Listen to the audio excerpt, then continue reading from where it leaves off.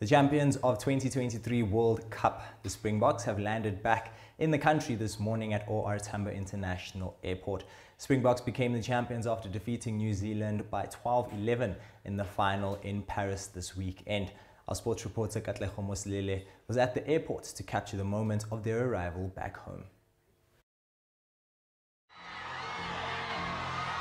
The passionate audience of South Africans at OR Tambo International Airport greeted the 2023 World Cup champion Springboks upon their arrival on the home soil this morning after a historic win over New Zealand in the Rugby World Cup final on Saturday.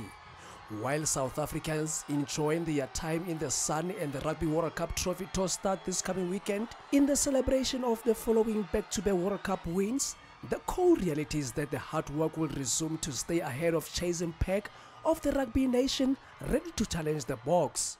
People were hopeful in 2019, maybe we'll win it, but this time we could feel that people expected us uh, to win this World Cup. So the support and the videos, as uh, Mr. President said, honestly, we after trainings we would see, or after games we would see what's happening back at home, and that's why we made the decision that We've already won the, the World Cup in 2019. It's not about us as players anymore.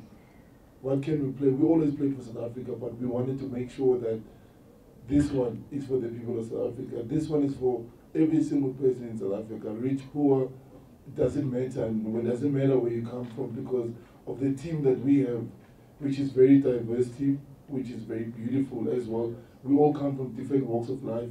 With the good planning and foresight going forward, the Springboks can continue to unleash the new generation of the players that should be able to take Siya Kolisi's team legacy forward and continue to dominate the world rugby.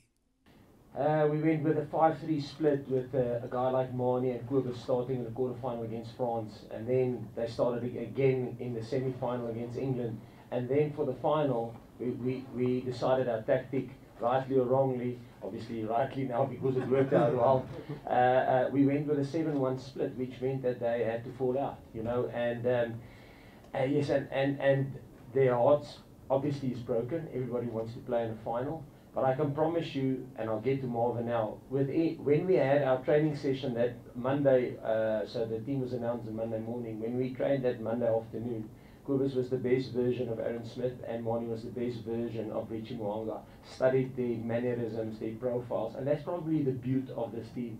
You know, they, they get over it um, um, and then they have to fulfill another role. Uh, in the previous two games, their role was to start and to lead the team to victory. In this, uh, in the last game, their role was to be the opposition.